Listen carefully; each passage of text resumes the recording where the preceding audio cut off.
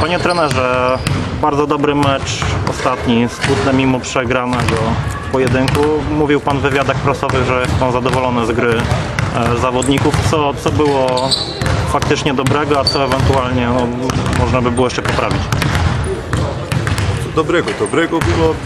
Pierwsze dwie kwarty bardzo dobrze. Bardzo dobrze. Z, z taką grą możemy wygrać jak każdy. Jak będziemy trzymali tempo.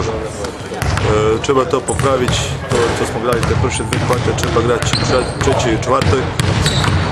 I tak smo grali, dok nie przyszedł taki zespół jak Kutno, który jest bardzo mocny. W tej chwili był jaki inny zespół, który nie jest tak mocny jak Kutno, to by wygrali ten mecz na pewno.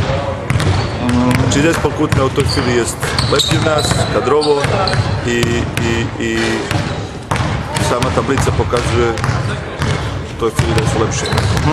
E, a co, co ewentualnie można by było poprawić? Znaczy trzecia i czwarta, połowa trzeciej kwarty pojawił się jakiś problem. Koncentracja, koncentracja, poprawić koncentrację, e, parę rzutów pod koszem netrafione od naszych zawodnika i parę osobistych i mecz by był równy do końca. E, Panie trenerze, w sobotę wyjazd do, do Poznania, do Beniaminka. E, jesteście raczej chyba faworytem tego, tego spotkania.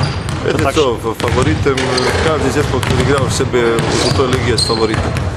Poznań wygrał przedostatni mecz z Toruniem, znaczy bardzo mocnym zespołem. Pokazali tu tą moc, która jest która jest tu w tym zespole. Mają tam par dobrych zawodników. Ja trenowałem tam dwóch zawodników z tego zespoła. My się przygotujemy do tego meczu poważnie i chcemy widzieć po prostu ten mecz. E, Panie trenerze, czy jeszcze jakieś zmiany kadrowe z tego ostatniego meczu zaszły, czy, czy nie? Tu jest, w tej chwili przyjechał dzisiaj jest nowy zawodnik, Rafał Glapiński. Zobaczymy jak się to wszystko potoczy.